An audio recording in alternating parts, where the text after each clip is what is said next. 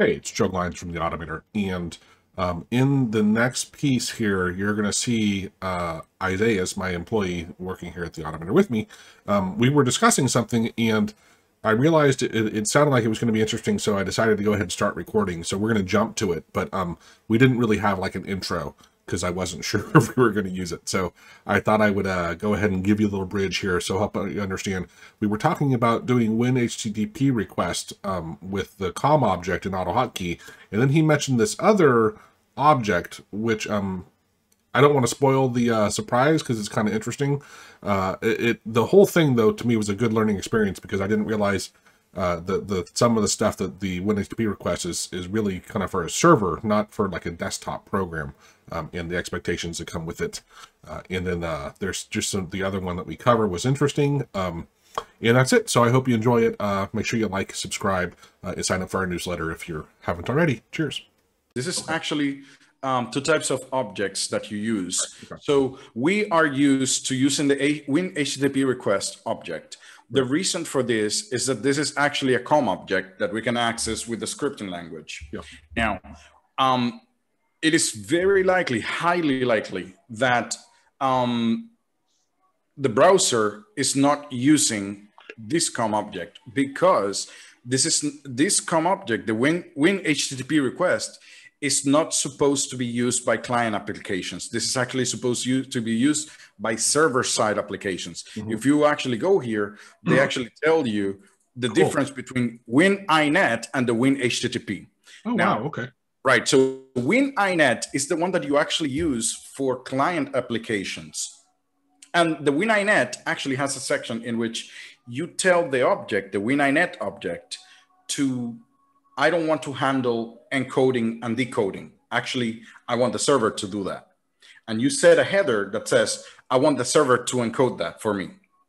Okay. Or decode. Actually, your app must be able to encode and decode anyways but you can actually set a header and send it to the to the server. The browser very likely uses this object instead of win HTTP request. So I think this request, I could actually just go ahead and remove it because I, I, I will not use it. This actually, with HTTP request, I actually have to manually handle the zip files and the encoding because I cannot handle it as the WinINET um, object.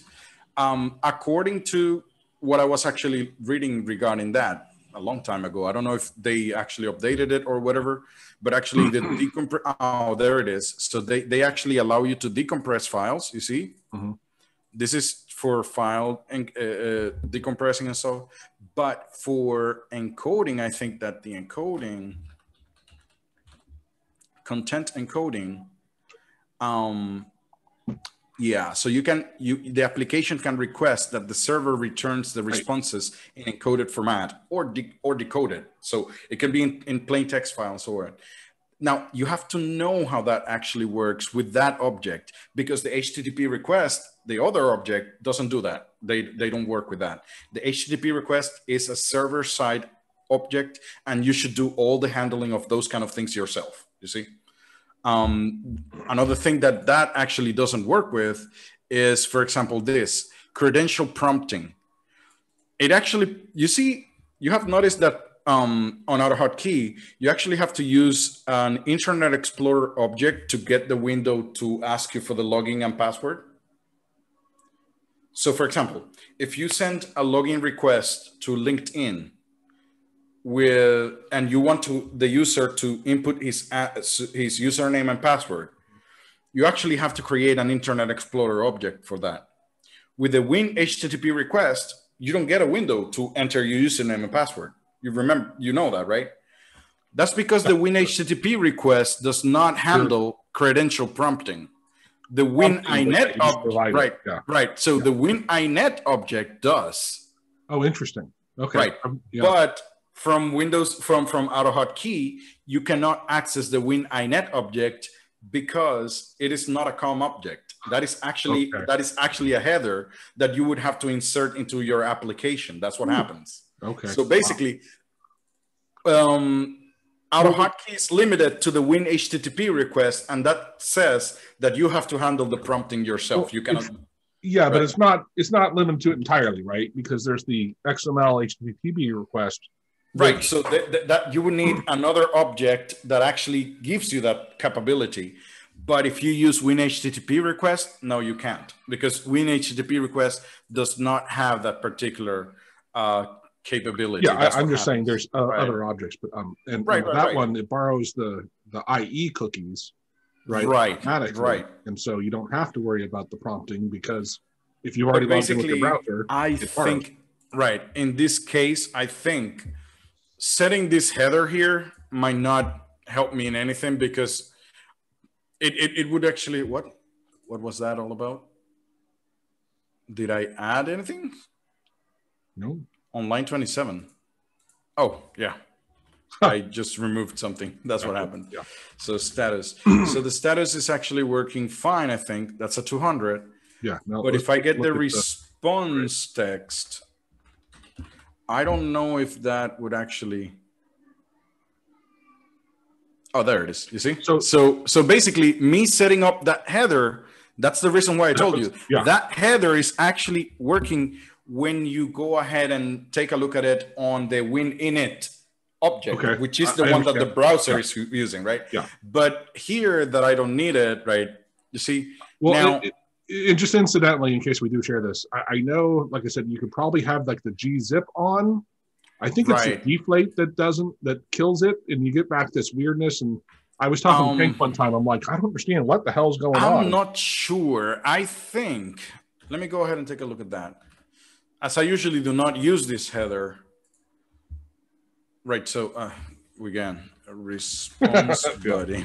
Right, because I just hit, um, Body or text? Uh, let me see. Oh, yeah, yeah, yeah, sorry. I, I usually use the body itself text. Right, so again, maybe deflate, let's put the DR here. Right, and is the gzip looks like. So let's go ahead and take a look at that. Um, BR.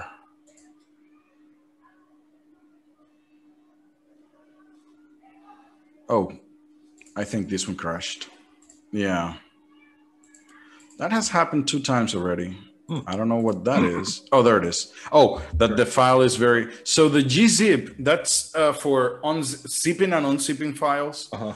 It seems to me that that's the one that I that is kind of like not being accepted. Right. Um, And and clarify, through the HTTP request object. Yeah. so, know? and I never thought it through, but in this, because it's a header, right? You're right, not it is just you're header. not encoding your thing this way. You are telling that server when you send it back to me to be encoded that yeah. right exactly Okay. Cool. now as it is zipped right so i'm telling it to zip it my i received probably a zip file that's maybe what is going on like the the the, the whole information is being zipped in a way It's now compressed. yeah. my my application here should decompress that and i'm not doing that that's the reason why i'm getting this uh, garbage response text. But the one. browser but the browser as it is using a different object that actually does that or maybe the browser itself is actually kind of like deflating or unzipping the file and showing it to you. Maybe that's the reason why um, it works fine in there. But again i the, the, the file that i'm actually receiving whatever i'm receiving that's what um, i'm not so sure um, how i'm going to handle it All right, thanks for watching that clip. Um, I'm going to try and do more of these, like a weekly call with Isaias, because he's he's far more advanced than I am, and it's wonderful to have someone that I can ask questions to. And because I, know if I'm asking the questions, I'm sure a lot of you guys have the same questions. Um, there's a lot of stuff you read in the forum, but they don't explain the ins and outs of it, right? And that's where having some expert you can talk to uh, is a great way to to learn stuff. Uh, which which reminds me, sign up for the mentorship.